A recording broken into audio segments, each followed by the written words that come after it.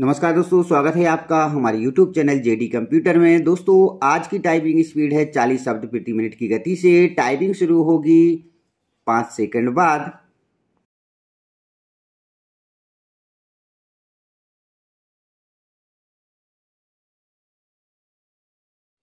Okay, start.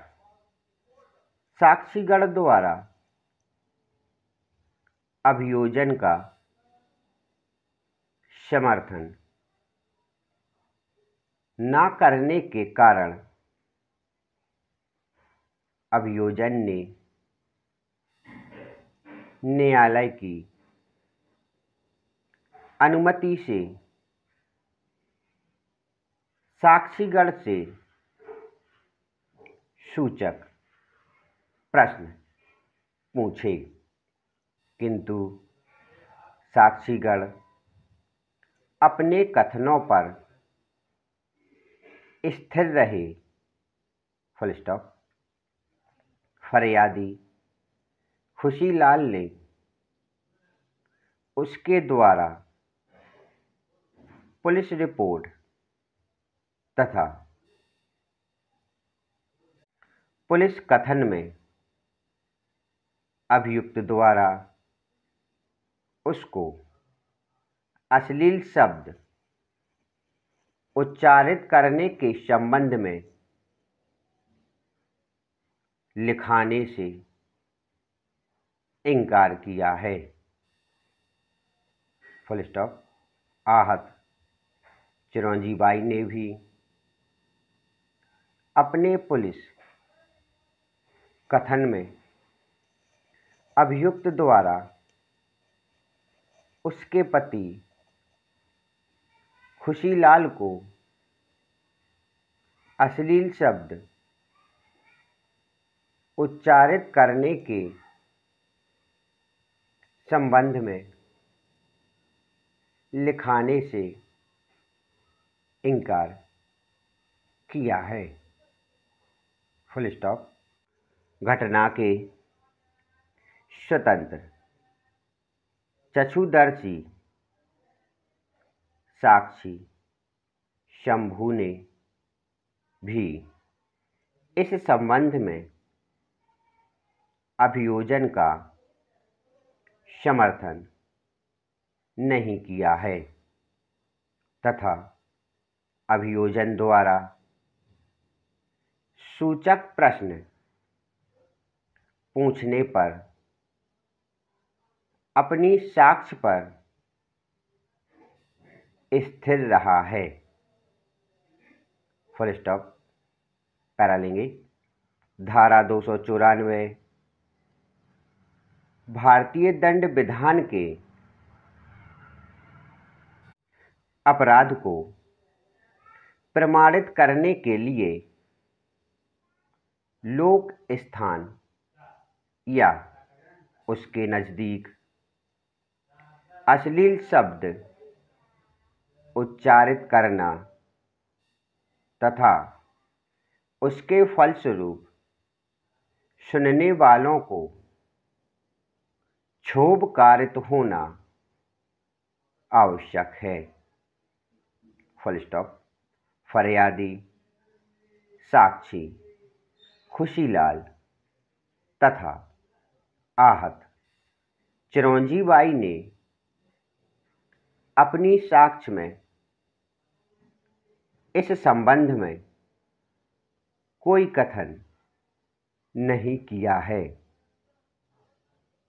Full stop अतः उपरोक्त संपूर्ण साक्ष्य विश्लेषण उपरांत निष्कर्ष यह है कि अभियोजन यह प्रमाणित कराने में असफल रहा है कि? अभियुक्त द्वारा फरियादी।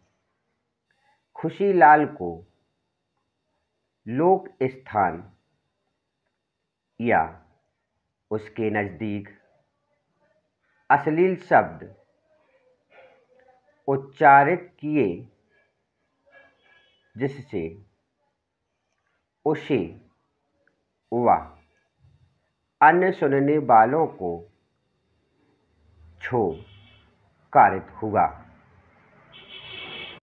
फुल स्टॉप पैरालेंगे फरियादी, खुशीलाल तथा आहत चिरंजी बाई ने अपनी न्यायालयीन अभिसाक्ष्य में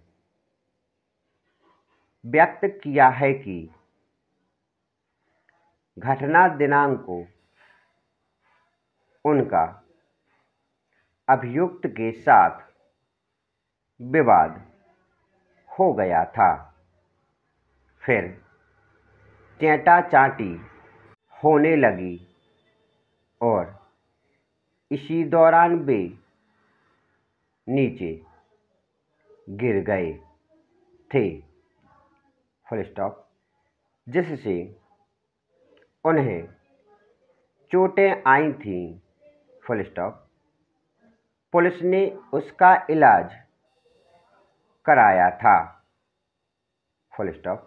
Doctor Pradeep Gupta ने उपरोक्त साक्ष्य का समर्थन करते हुए अपनी अभिसाक्ष्य में बताया कि दिनांक 26 दस 2012 को जिला चिकित्सालय, विदिशा में। मेडिकल ऑफिसर के पद पर पदस्थ रहते हुए उन्होंने थाना कोतवाली के द्वारा लाई गई फरियादी खुशीलाल तथा आहत। चिरौंजी बाई का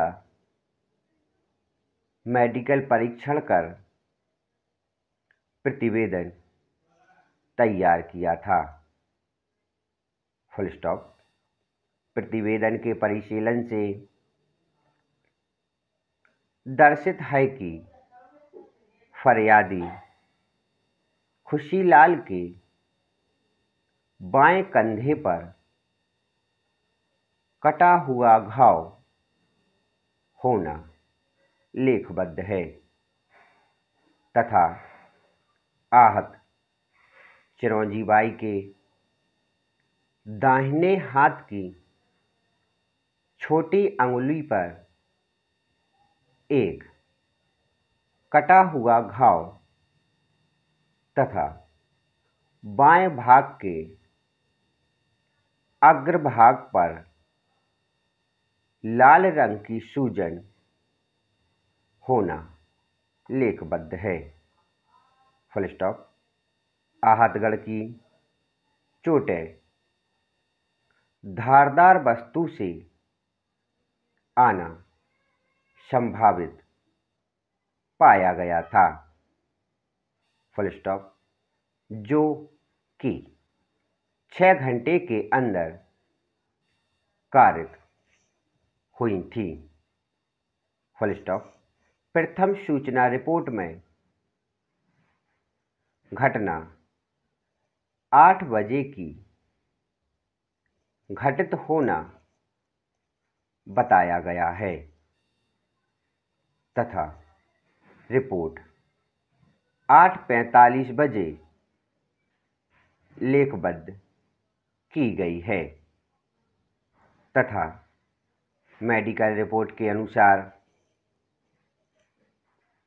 मेडिकल परीक्षण नौ तीस व नौ पैंतीस बजे किया गया है। Full stop. जिससे स्पष्ट है कि मेडिकल परीक्षण बिना किसी विलंब के किया गया है। Full stop stop